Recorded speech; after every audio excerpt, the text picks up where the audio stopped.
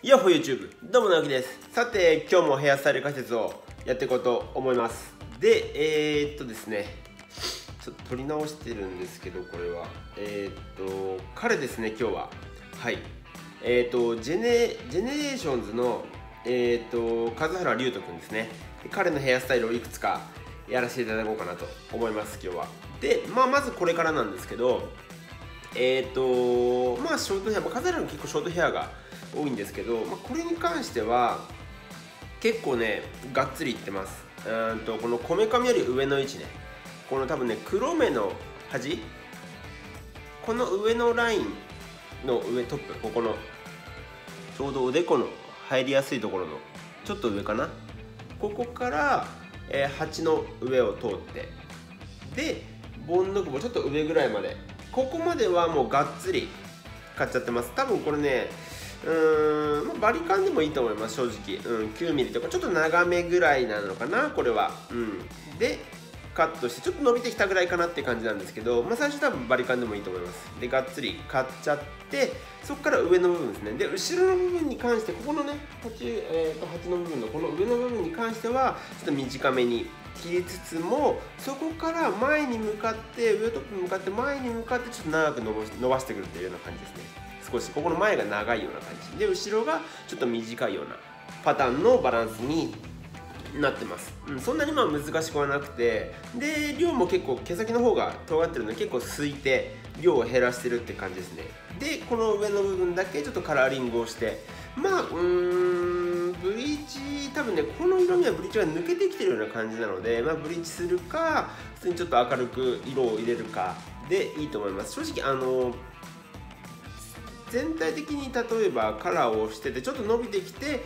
全体的にこうバリカンで買っちゃってちょっと伸びてきた部分は根元黒くて毛先が明るいままでも正直問題はないと思います、うん、それくらいあのー、まあ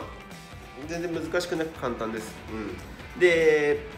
笠原君って結構多分すごい筋トレとかしてがたいも良くてで顔も面長じゃなくて丸っこいのでどちらかというとこうね高さがここのぐらいまで短くしてここに高さが出る面長に見えるスタイルっていうのは似合いやすいあの顔のバランスだったりとかするのでそういう人には合いやすいかもしれないですね。がっつりこう期待したりとか丸顔の人とかには、うん、面長に面長に見えやすいっていうかこの丸顔を、えー、とカバーできるようなバランスになってると思いますこれに関しては。でこの時ですね。この時に関してはまああの刈り上げの位置もさっきよりも低いようなバランスですね。これに関してはこの、えー、多分ねこれ僕と同じような感じのちょっと2セクションっぽいような感じなんですね。僕こうこっちが短くて上が長いような感じになってますけどこれも多分僕と同じでこめかみの位置から、えー、鉢を通ってボンド部までは全部買ってますバリカンで、うん、でバリカンで買ってで上の部分はちょっと僕もこれ伸び伸びちゃってるんですけどちょっと下の部分とは被らないような2セクションで切ってるって感じですね。ちょっと長めに残して。で前髪を少しそのライン上に合わせて長めに残して。で全体的に段をつけて短くして。でジェルとかであの仕上げてると思うんですけど僕はこう立たせてるんですけど、えーと、彼の場合はこう前にこう下ろしてセットしてるって感じですね。これの場合は。でちょっとこのうねあなんだろうこうチリチリしてるような感じのバランスっていうのは多分カラーの少しダメージだったりとかあとはま量を減らしてすいて結構タバカンを出すような感じのカットにはなってるので僕は、えーと、ほとんどえーと、すいてないです。量すいてないのでこうツンツン強めな感じになりやすいんですけどカザル君の場合は、えーと、量を減らしたりとかしてこうなんだろうツンツンツンツンしてる感じを出してる、うん、僕とはまたちょっと違ったあの質感調整をしてるって感じだと思います。カラーリングは多分これ周りはカラーしてなくてこの上の通性の部分だけ、えーと、カラーをしてるって感じですね。これ多分ね、まあ、ブリーチしなくても光の加減で明るくなるんで、まあ、10レベルとか12レベルとか明るい髪色にして周りは暗くすれば全然問題ないと思います。これ刈るのも多分 6mm とかでもいいと思います。短く切っても、うん、9mm だとやっぱ長いんですよね多分。2セクションのこの差があんまりなくなっちゃってバランスがあんまり良くないので、うん、その場合は多分 6mm とかでバリカンで買って上だけちょっと長く残してですいてもらってセットを前にするって感じの方が僕はバランスはいいのかなと思います。この髪型に関しては、うん、でえっ、ー、とこれこの髪型この髪型それがちょっと伸びてきてる感じですね。あの多分この2枚目の写真の次にこうなってるっていうパターンではないと思うんですよね。わかんない。カラーを変えてるのかもしれないですけど2セクションは2セクションですこれも。たださっきの場合は僕みたいにこう短く切ってますけど彼の場合はこう2セクション。この時はね多分2セクションが少しねこのこめかみのちょっとしたかもしれない。バランス的に。で8の方を通ってボンド部分まで切ってるって感じかもしれないですね。うん、でそれに対してこの横もちょっと耳にかかんかかるかかかんないぐらいまで長く残して。そうするとこうね眉毛が隠れる位置ぐらいまで前髪も下ろしてくるとこのラインで切ってくるんでで後ろもそのままボンド部ぐらいまでバランスをとって切って。で量を減らしてあのワックスだったりとかグリースだったりとか。でいいと思います。あのもしこのちょっとうねり感とかがあのすいた感じだけで出ないっていう人はあのまあよく言うちょっとツイストじゃないけどスパイラルまでいかないけどちょっと毛先の方のパーマポイントパーマみたいな感じで上の方だけかけてもらってもいいと思います。ほとんど横の辺はほとんどかかってないからこの上の部分だね。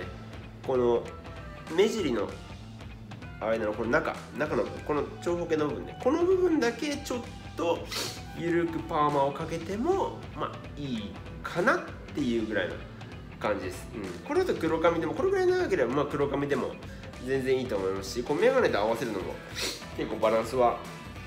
いいかなとは思いますね僕は、うん、結構がっつりしてる人の方がやっぱこういう髪型って似合いやすいこういうツヤのあるような感じだったりとかあの似合いやすいのでそういう人の方がいいかな。難しくなく結構やりやすいヘアスタイルの中の一つかなと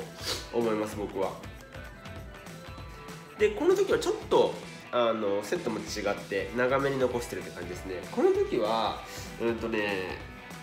やり方いろいろとあるんですけどまあ今までのえーと、写真とちょっと変えたいんであれですけどうんまあ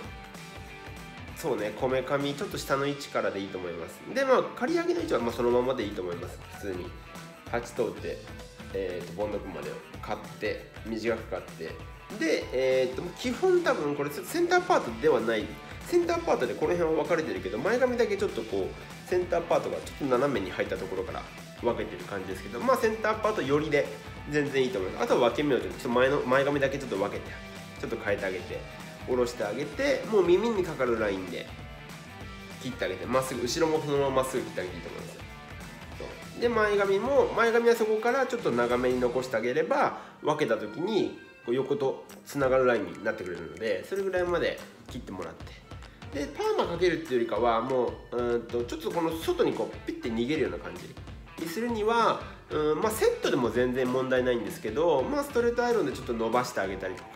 してあげて、えーと、ジェルとかでもいいと思います。僕はこれは、うん、ちょっと伸ばしてる時なのかな？ちょっと伸びた時なのか。もしれないですね。でそれに対してちょっと段を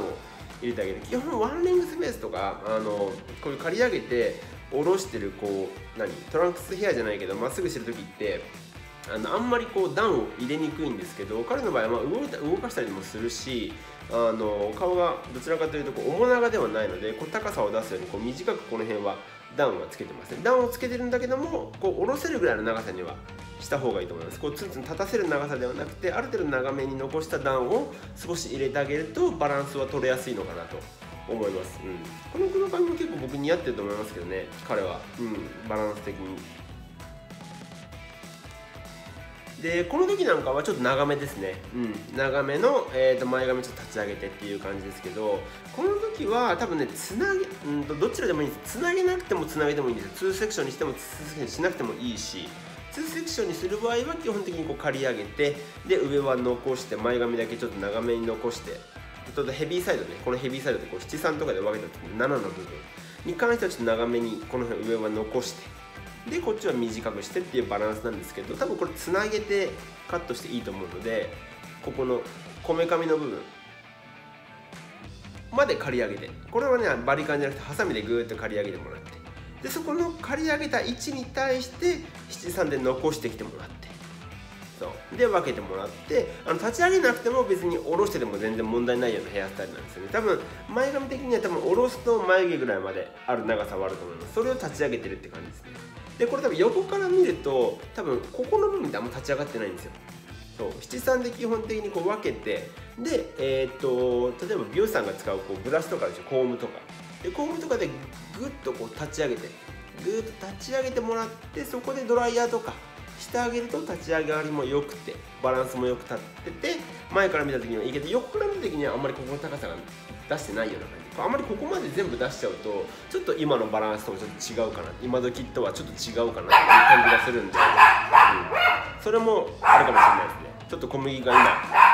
今なんか泣いてるんで「コムちゃんダメよ」まあ、いくつかそうやってあるんですけど、まあ、短いのは結構多いと思います彼の場合は、うん、なので、まあ、短いのをベースにこう作り上げていくと彼っぽくなりやすいのかなと思います。これとかはもうだいぶ短い。さっぱりして。これ2セクションじゃなくてもう鉢上までがっつり刈り込んでこめかみから鉢ボンノコまでがっつり刈ってつなげてきて。だから僕のここがないバージョンみたいな。僕のここがない。ここがつながってるバージョンですね。で金髪きれいに染めれる。金髪で染めてあとはベージュだったりとか。ちょっと紫で黄身飛ばしてちょっとベージュっぽくすればこれっぽくなりやすいかなと思います、うん、これぐらいがやっぱり僕僕は好きです。僕は好きですけどまあいろいろと、まあねまあ、短さもあったりとかするんで僕みたいに面長の人はこういうヘアスタイルにする時は横をちょっと残す。2セクションにしてちょっと横を残した方が面長が改善されるっていうのがあるのでその辺も踏まえて美容師さんと相談しながらやってもらうといいと思うので是非やってみてください。バイバイ。